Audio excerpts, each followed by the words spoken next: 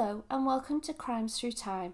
I'm Karen and this case is from 1946 and occurred very close to where I live in Cheshire, England, the Culvert murder.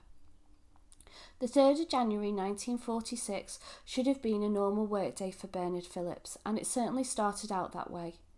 Bernard was a 37 year old father of a two year old son, lending manager for Refuge Lending Society, Walker Street, Manchester. That Thursday, he greeted his secretary and started his day. About 11am, a man giving his name as George Wood came to the office seeking a loan for £60.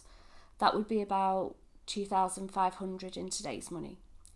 He offered the deeds to Mosside Farm in Tarporley as surety. The address he shared with his wife Jessie. Bernard happily agreed to the loan and arranged to meet Mr. Woods at the farm on Saturday to hand over the money and collect the deeds. However, within half an hour, Mr. Woods was on the phone. The loan was now a matter of urgency. He and his wife were going away for the weekend. His secretary heard Bernard say, Very well, I will be there at two o'clock. Bernard drove the company's black Ford 8 saloon car, taking the full loan amount £40 in £1 notes and then two £5 notes, and headed for the farm. This was the last time Bernard Phillips was to be seen alive. Later that evening, when Bernard didn't arrive home, the police were notified. They quickly circulated descriptions of Bernard, the car, and George Wood. The car was located that evening in a secluded part of Moulton Hall Farm outside Wharton in Cheshire. On the back seat was a carton containing five eggs. No trace of Bernard was found and his briefcase was missing. Chief Constable of Cheshire Police, Sir Jack Becke, put out an appeal for information, asking the person who sold the eggs to come forward. A man called Dutton confirmed he sold the eggs from his farm at CWS in Shropshire. The police now began to piece together the car's movements on the 3rd of January. However, the biggest break in the case didn't come until Saturday the 5th, when brothers Fred and Donald Fredgold were returning from their errands. The car got stuck in the mud and they made their way along Smoky Hall Railway Bridge. By chance, Fred glanced down the embankment and spotted what looked like a body sticking out of the culvert. The culvert is a tunnel that carries the steam and an open drain under the railway. Quickly they ran to alert a nearby cottage and then to summon the police. The body was that of Bernard Phillips. Sergeant John Nixon, who was the first policeman on scene, attended with Dr. Leake, who confirmed that life was extinct. The body lay just 400 yards from where the car was found, well hidden, and it was clear that the intention was for him never to be discovered. About 7.15, Dr. Grace, the pathologist, examined Bernard and removed him to Winsford Mortuary, where he performed the post-mortem. All personal possessions and, of course, the loan money were missing. Hidden under the body was a commando-style knife, the murder weapon. Death was caused by hemorrhage and shock due to a large incised wound by an instrument with a sharp cutting edge penetrating the chest wall by at least four inches. Bernard was stabbed from behind, piercing the lung through the third and fourth rib. The injury could not have been self inflicted, and he had passed away 24 hours earlier. The police began to investigate. Nixon started to hear about a local man who was spending very extravagantly given his position as a night watchman at the bacon factory. That man was Harold Berry. On the 7th of January, Nixon arrived at Harold's home address in Ledwood Street and was greeted by his wife Jessie. He inquired about the money and she produced £22, 10 shillings from her handbag.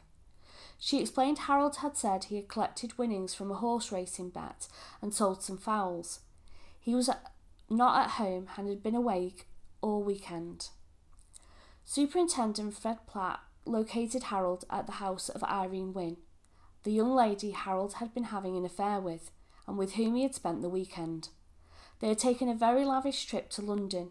When asked the, to accompany Platt to Pendleton Police Station, Harold answered, I'm not guilty, but I will accompany you. In his pockets, two pound, a cigarette lighter, and a note case, the personal belongings of Bernard Phillips. Harold's home address was searched and a knife, overcoat, and overalls were taken for further investigation. In the early hours of the 8th of January, just five days after Bernard had left his office, Harold was taken to Northwich Magistrates Court. Harold Berry, you are charged that you did, feloniously and with malice aforethought, kill one Bernard Phillips at Malton between 2 p.m. January 3rd and 4:15 p.m. January 5th, 1946. He entered a plea of not guilty. The trial was held at Chester Assizes on the 11th of February 1946 and took four days. The case against Harold was circumstantial, but when taken as a whole, it was quite compelling. The motive was simple. Harold Berry wanted holiday money to impress Irene Wynne in London and Bernard Phillips paid the ultimate price. They were certain the plan was to rob and murder him, given the wound was from the back and there was no other injuries that were observed that could suggest that the men had fought. It can be inferred that the murder was an intentional act.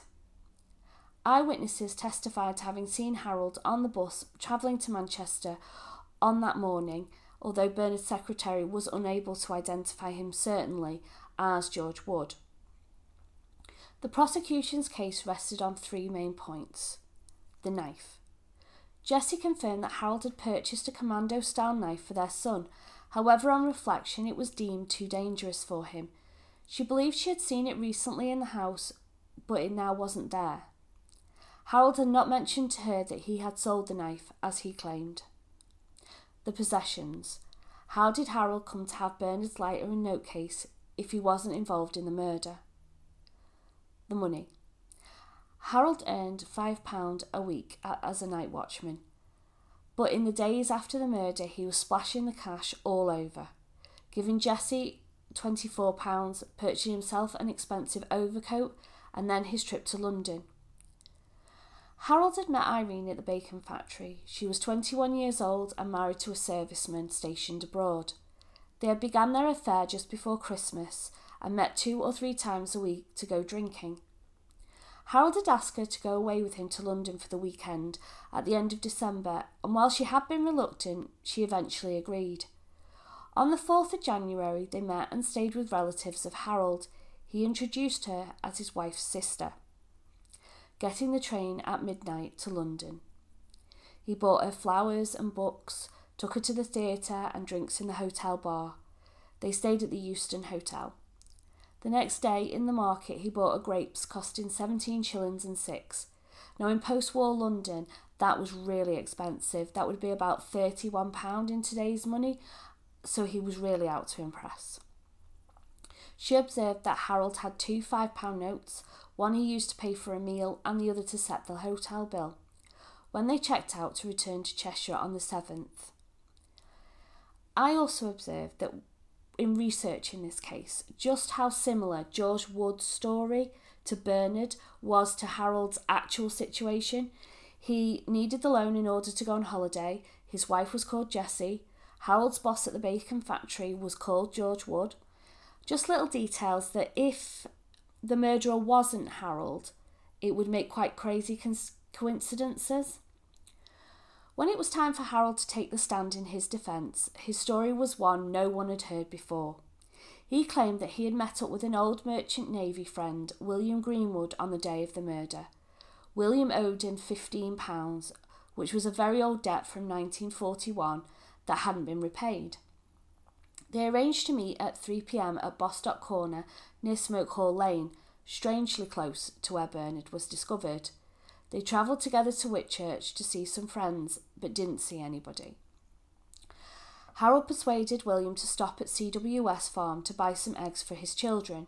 Upon returning to Winsford, William produced two wallets and gave him two £5 notes from one and ten £1 notes from another, saying the extra £5 was interest.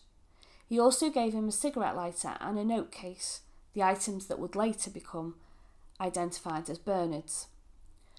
Harold also stated he claimed the winnings from a bet placed in Middlewich, sold some fowl, and withdraw £11 from a tontine club, which accounts for all the extra money that he had. Now, on the surface, this story counters all the main points of evidence against him, almost too conveniently so. but he provided no evidence to support any part. He was challenged on the stand as to why he hadn't mentioned Greenwood before trial, or asked the police to find him, because if his tr- story was true, likely Greenwood was the killer. All Harold said was that he was not guilty, and he knew that was the case. Harold did continue to say that while the knife at the scene was similar to the one he owned, he had sold it to a soldier in the pub in the week prior to the murder. Again, though, he couldn't offer any evidence to the identity of the soldier or where he could be found.